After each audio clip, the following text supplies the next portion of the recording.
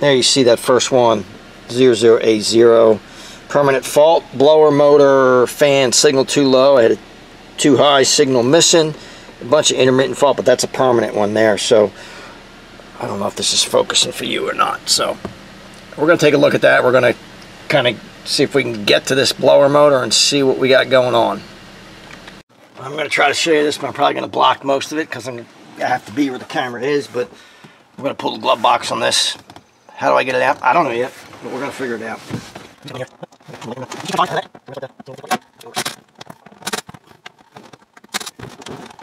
Alright, so obviously it's kind of tucked up behind here. I don't, that just came right out, no problem, but if not, you can take this side panel off, just pull straight out, but it doesn't look like at this point I, I need to take that off. So under here, there's three more screws.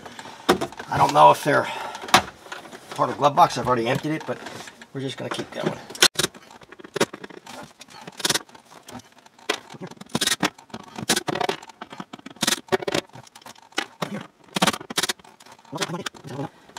Um, I have a feeling, I don't see any more in here. I have a feeling these three in the bottom here, I have to take them out. That's my guess. But we're going to do that.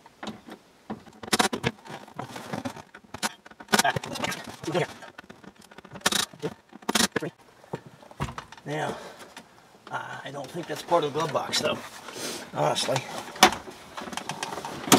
Well, that's not. I don't think. We'll see when I get this out here. It just kind of tips forward. Obviously, that stuff here that's that needs to be disconnected. Okay, some of this was already disconnected, it looks like. Unplug my light here.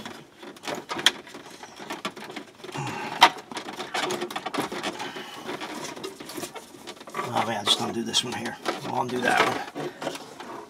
So does though does that those three bottom ones? I don't think those three bottom ones matter. Doesn't look like it at least. So let me just disconnect this here. And the blower motor is in here. Probably down here, right here. Yeah, this is a connector down the bottom, so. Ooh. That looks like rodent. There's rodent chew there. Chewed right through it, looks like. That's what it looks like. At least that's what it looks like to me. So let's go underneath here, see what's involved in getting this blower motor out of here.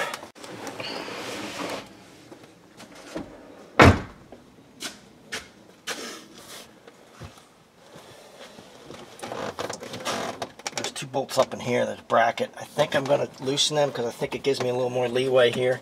Um, I believe there's a screw that's right up against the firewall that's hard to get to. So I think this gives us some more leeway. I think. We'll see. Could be completely wrong.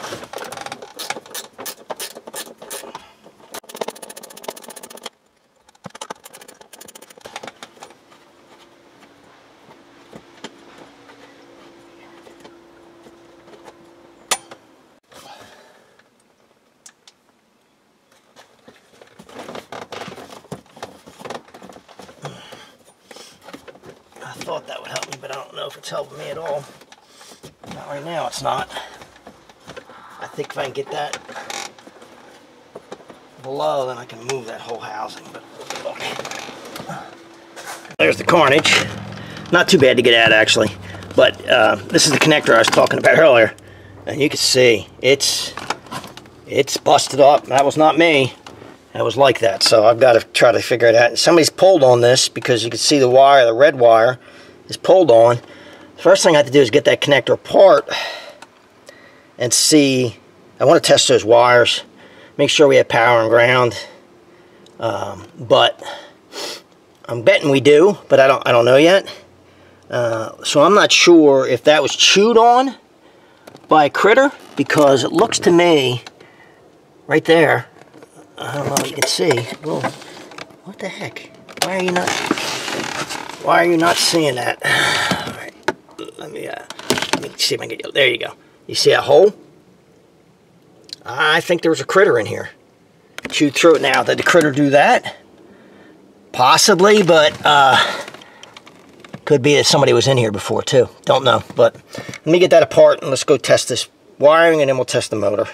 Got the connector off. It is not, look at that. Hopefully you can see that. That is not good at all. Melted on the one side, corroded, and then you look down in the control module here, the module for the fan, it is just as bad. It is no good. Now, why? I don't know. I really don't know. But, at a minimum, this is going to require a module because there's you're not going to get that to work. And it requires a connect. It needs a connector. I've got the uh, motor out of the car, obviously the fan motor. I've got it uh, directly connected. I'm going to connect it to this 12 volt car battery. Um, and I got an amp clamp on here. We'll see what kind of amperage it's pulling. Get this in a position where I can see it at the same time. Maybe it would help. Um, you're not going to be able to see that, but uh, the motor is obviously good.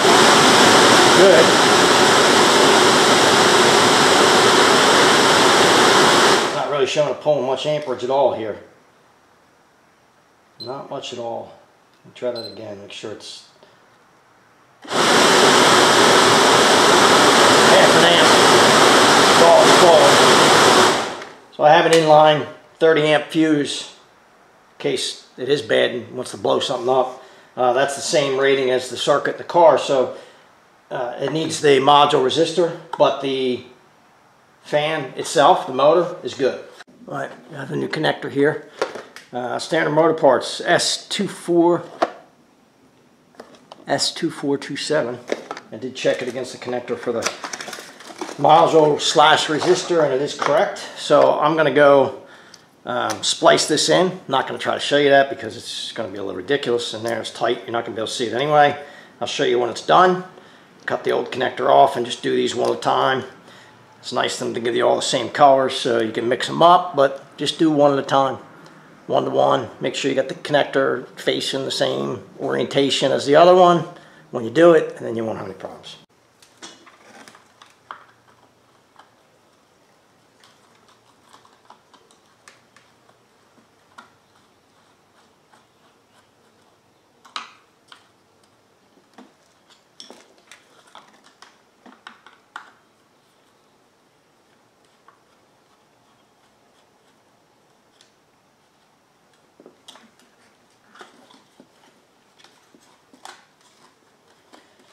Looks like I to take the cage off of here first. This way. Going to take it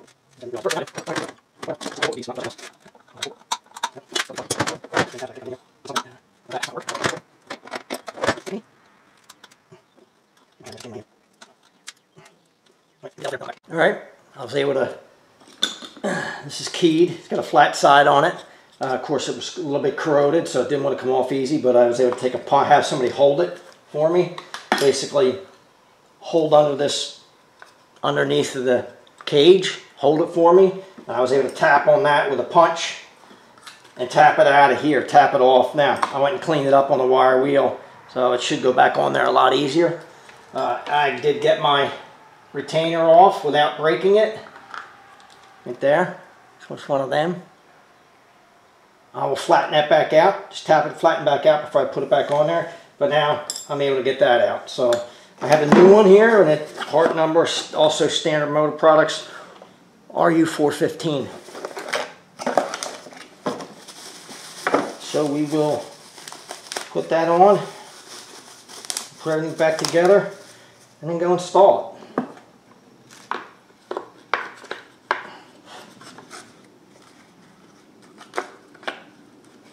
Well, it helps if I actually put it in there, not upside down. I think. Maybe? Alright, there we go. Yes, it does. The screws back in.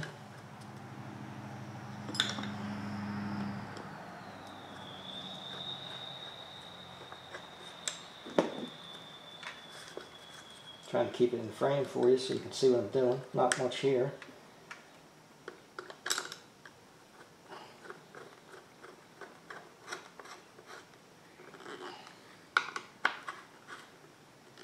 All right, let's uh, let me flatten that washer out real quick. Not much to that. Just kind of lose my box, but.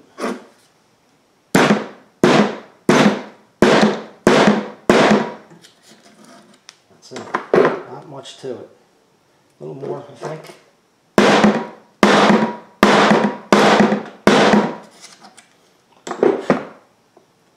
Pretty good. Now, hopefully this cage will slide on here a little easier. Remember, it does have a, it's keyed. It has a flat side. And that goes one way. Let me figure out which way that is. There's my flat side. If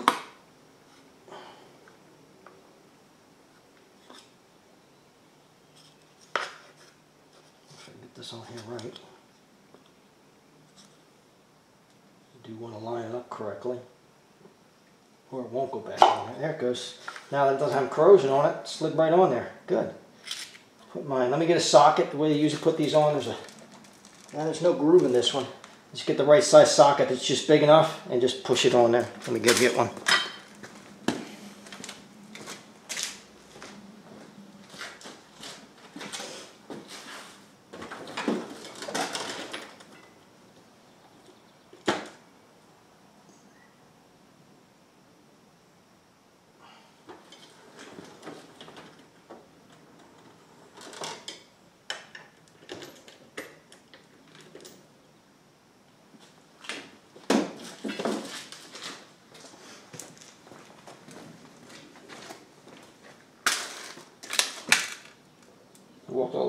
Could just opened the drawer.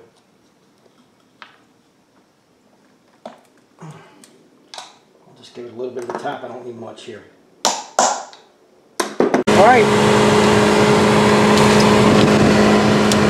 It's definitely working. I didn't have any fan before. I have it now.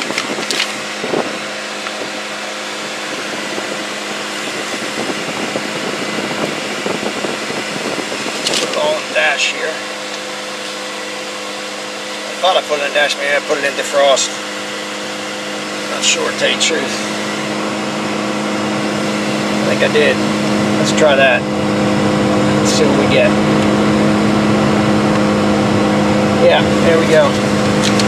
Much better. Hopefully you can see that. There it is. Just gonna put the glove box in, but that's a fix.